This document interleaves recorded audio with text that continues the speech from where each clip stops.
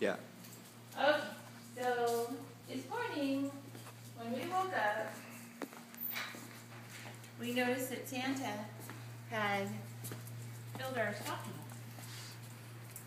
So Joey got all excited and went up to everyone's stuff, and he happened to see Shawn's stuff and could smell chocolate, I'm sure. So then Joey ran all the way to the backyard and pranced around for a couple couple times. And I tried to make him come and he wouldn't. So then he came over here.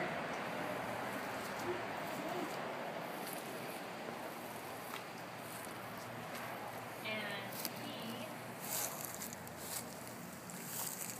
he put Shawn's Ritter Sport in a hole. So there you go. And Joey held it in his mouth.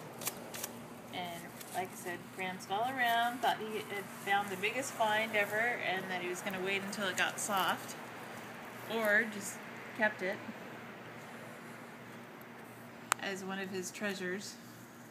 But now he has a bone, so be doing that but that's a deep hole.